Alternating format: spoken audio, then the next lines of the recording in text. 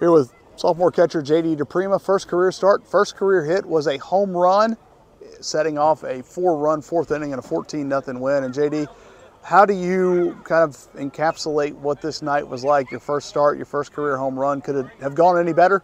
Uh, probably not. No. Um, couldn't have got much more from what I was working. Uh, the first start, I mean, try to keep my nerves down a little bit. Uh, I think I did a pretty good job. Uh, the first home run, uh, that was really cool. Just trying to, first AB, I was out in front of everything.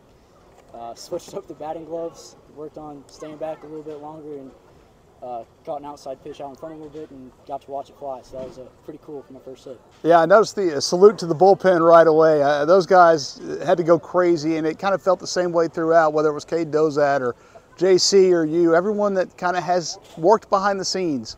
Good to see everyone, and pretty fulfilling to see everyone have a big moment tonight. Yeah, uh, I mean, I've been hanging out with those guys all year, and those have been my guys, so kind of felt like that was kind of for them too. Um, JC and Cade did a great job. Uh, they haven't got to pitch much, so just trying to make them feel comfortable. Um, and they did a great job competing for us tonight and giving us a chance. JD, congratulations. Thank you.